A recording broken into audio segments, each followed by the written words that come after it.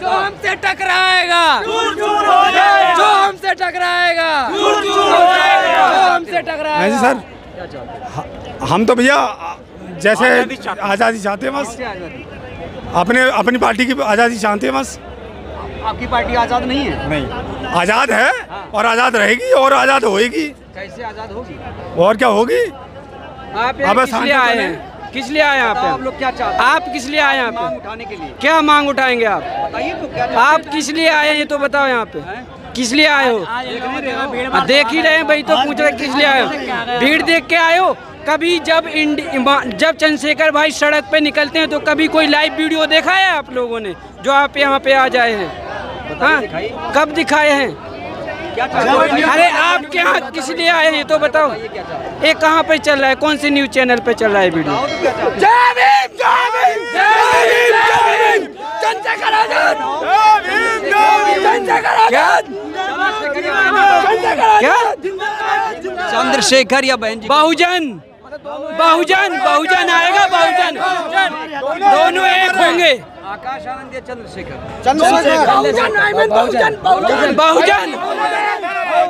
अरे बहुजन। धरती और आसमान से कैसे चुनोगे आप? जैसे? धरती और आसमान में से कैसे चुनोगे रहने के लिए? भाई दोनों मेरे लिए बराबर हैं। वो भी मेरे लिए बराबर वो मेरे लिए आसमान। बहन जी मेरे लिए आसमान है संजय भाई मेरी धरती है। बहुत रोड पर निकलता है बहन जी भाई देश पे राज करेगा। बहन जी आसमान और चंद्रशेखर मेरे ज़मीन पे चलते हैं बहन जी हमारे बैठ के राज करेंगे। हमने हमने अरे वो निकल निकल निकल गए रोड पे। हमारे सीनियर थे सीनियर रहेंगे। बहन जी हमारे सीनियर थी सीनियर रहेंगी। सीनियर रहेंगी बहन जी हमारी। भीम आर्मी। भीम आर्मी क्या बोल? वो तो मुख्यमंत्री कौन बनेगा? वो तो आने वाला चंद्रशेखर आज़ाद। हाँ सारे बनेंगे क्यों नहीं बनेंगे? हाल को आप देख लीजिए। खुद पता आप तो कर रहे हैं मुख्यमंत्री की बात एक दिन वो आएगा कि प्रधानमंत्री देश का चंद्रशेखर आज़ाद होगा। मैं क्या बोल रहा हूँ? चंद्रशेखर आज़ाद देश का प्रधानमंत्री है आने वाला। मुख्यमंत्री की बात ना करो आप। मुख्यमंत्री तो बहुत छोटी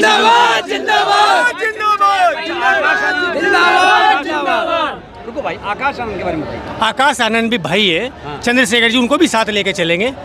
देखिए मैं ये पॉलिटिकल सवाल कर रहा हूँ राजनीतिक रूप से बताइए। बताइए, हमें नहीं, नहीं, जज्बाती करने नहीं आए। हैं नहीं है। ठीक है हम अपने हक के लिए आए हैं यहाँ पे। और राजनीति करना है तो सड़क पे जाओ भाई। चंद्रशेखर जी ने क्या कहा? मायावती जी के बारे में क्या कहा? हमारी बड़ी है।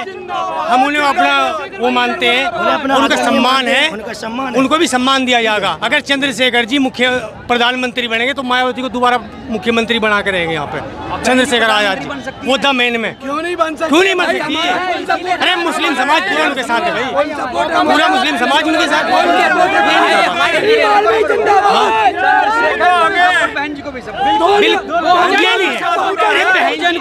टोटल बहुजन सपोर्ट है बहन जी भी हमारी है चंद्रशेखर भी हमारा है तो मुख्यमंत्री बताइए। देखो देखिए मैं बता रहा हूँ। सपोर्ट किसी को भी बहन जी की अब उम्र नहीं है।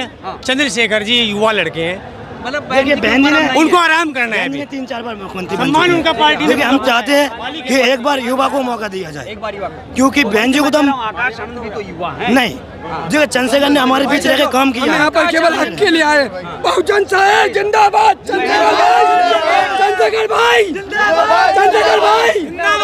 मेरा नाम नईम रसा मैं आज़ाद समाज पार्टी से मंडल उपाध्यक्ष बरेली से हूँ। तब तो आप चंद्रशेखर जी की तारीफ़ करेंगे। अ, भाई सवाल इस बात का है कि हम चंद्रशेखर भाई की तारीफ़ नहीं करते हैं हम चंद्रशेखर भाई के संघर्षों की तारीफ़ करते हैं।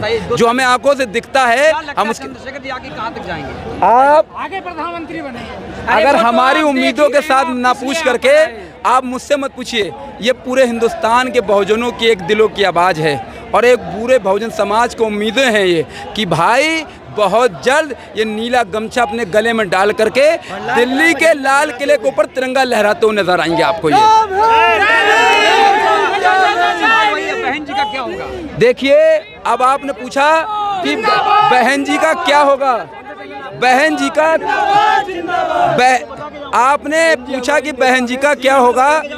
जिस समाज से चंद्रशेखर भाई आते हैं, जिस समाज से हम लोग आते हैं, उस समाज को बहुजन समाज कहा जाता है। सदियों सदियों तो हमारे महापुरुषों ने समाज को सींचने का काम किया है। मैं देश की आज़ादी से पहले नहीं जाता हूँ, देश की आज़ादी के जब देश आज़ाद हुआ तब से मैं बताता हूँ, समाज को सींचने का काम हमारे भारत रत्न बाबा साहब ने सबसे पहले किया। उसके बाद में इसी मिशन को बढ़ाने का काम जो है माननीय काशीराम जी ने किया। फिर बहुत समय तक हमारी बहन जी, माननीय, आदरणीय मायावती जी ने किया। मगर याद रखिएगा, आज उन्हीं को मिशन को लेकर के चलने का नाम पूरे हिंदुस्तान के सबसे चहीते, सबसे लोकप्रिय शेर दिल चंद्रशेखर आज़ाद जी कर रहे हैं। रही बात बहन जी की बाबा साहेब कांशीराम मायावती उसका चंद्रशेखर जी उस मूवमेंट को लीड कर रहा है। बिल्कुल लीड कर रहे हैं उसे बिल्कुल। बहन आप जी का भूमिका क्या है? बहन जी की भूमिका ये है कि बहन जी ने इस समाज को बहुत समय तक बहुत कुछ देने का काम किया है हमारी आदरणीय है। मगर मैं इतना ही कहना चाहूँगा जब कोई एक गाड़ी होती है और वो गाड़ी पुरानी हो जाती है तो उससे सफ़र जब नहीं हो पाता है तो क्या करते हैं हम नई गाड़ी खरीद के लेकर के आते हैं?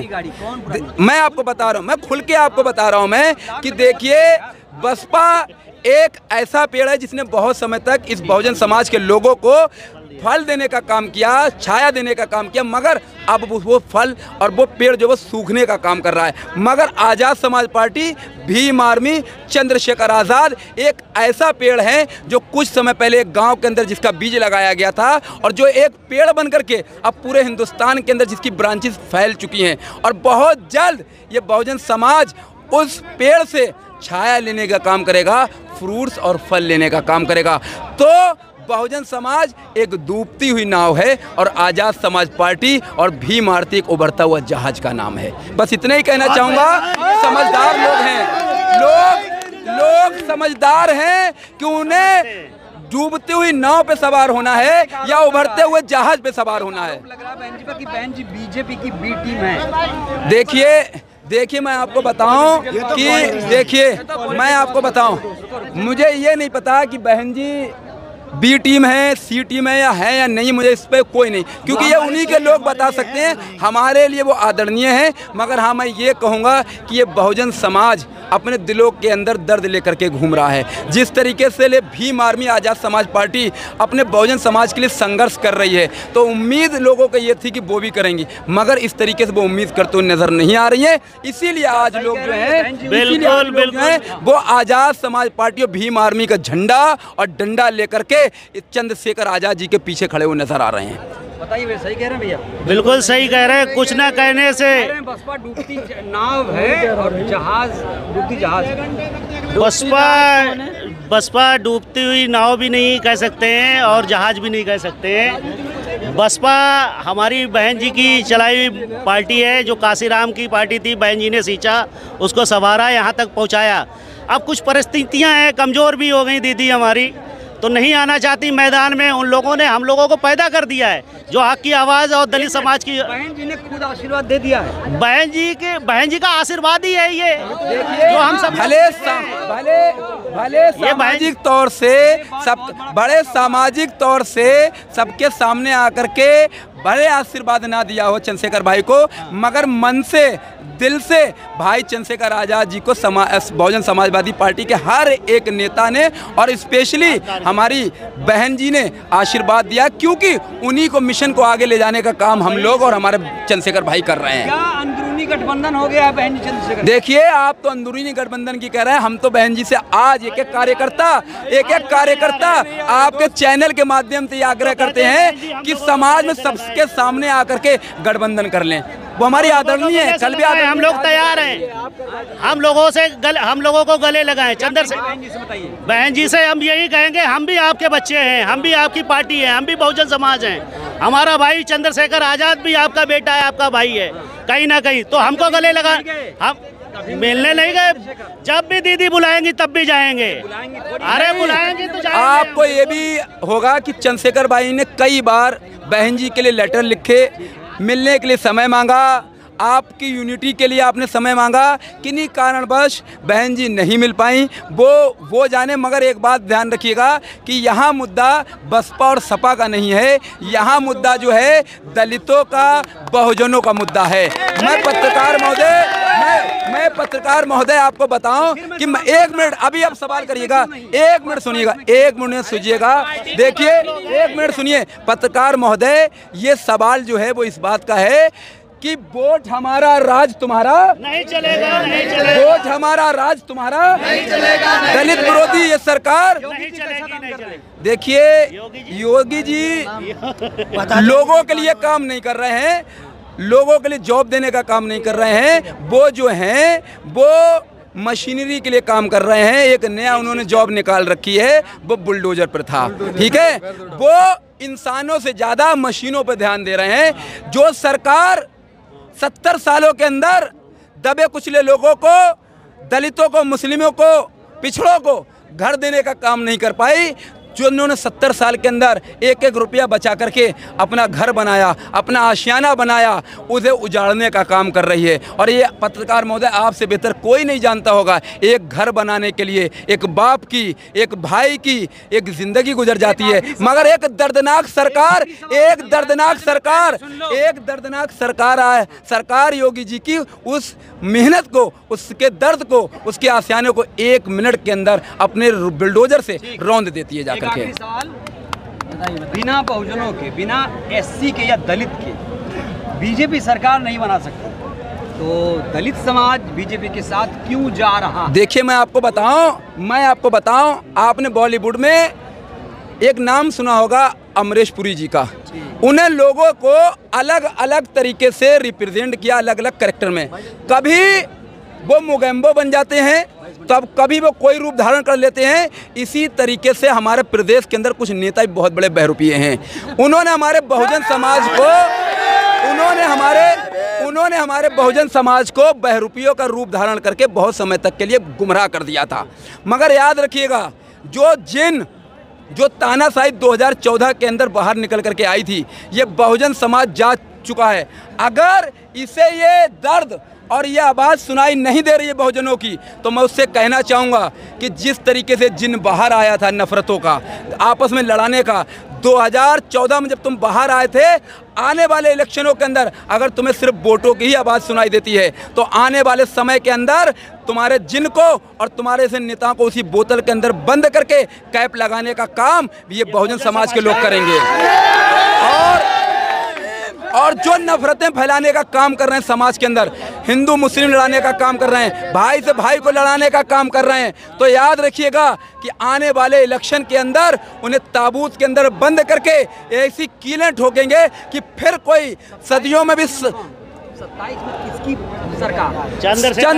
सत्ताईस में सिर्फ़ असपा की सरकार। एक बात आप मेरी नोट कर लीजिए 99 परसेंट भाई 27 के अंदर यूपी के सीएम बनेंगे। और इस्तीफाक से एक जर्रे भर भी अगर कहीं कोई कमी रह गई तो सुनते रिकॉर्ड कर लीजिए मेरी बात रिकॉर्ड कर लीजिए।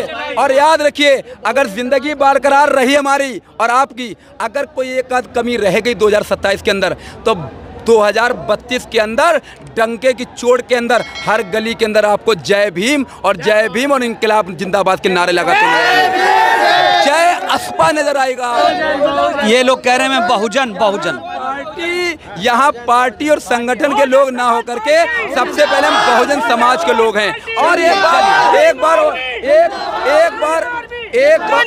आज़ाद!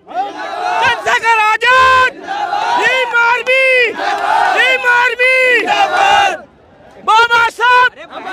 बाबा साहब। एक बार बहन जी जिंदाबाद दीजिए बहन जी बहन जी तो हमारी ही और अब भी है। बहन जी हमारी महापुरुष है। बहन जी हमारी नेता है। ठीक है रहेगी। लेकिन 21वीं सदी की आज़ाद आवाज़ एडवोकेट चंद्रशेखर आज़ाद है। था और रहेगा। ये जय जय जय जय जय भीम। ये आज ये भारत देश की राजधानी दिल्ली के अंदर इंदिरा गांधी स्टेडियम के अंदर भारत देश के भीम आर्मी आज़ाद समाज पार्टी के सिपाहियों ने ये दर्शा दिया है कि देश के अंदर संविधान के विरोध में कोई काम नहीं होने दिया जाएगा। इस देश के अंदर भीम आर्मी का बच्चा बच्चा क्रांति करने के लिए तैयार है। हम लोग जब तक पीछे नहीं हटेंगे जब तक संविधान विरोधी ताकतें खत्म नहीं हो जाएँगी। धन्यवाद। तो ये तस्वीरें आप देखिए इन तस्वीरों को लेकर क्या प्रतिक्रिया? आप लोग अपनी प्रतिक्रिया ज़रूर दीजिए। बहुत बहुत धन्यवाद शुक्रिया।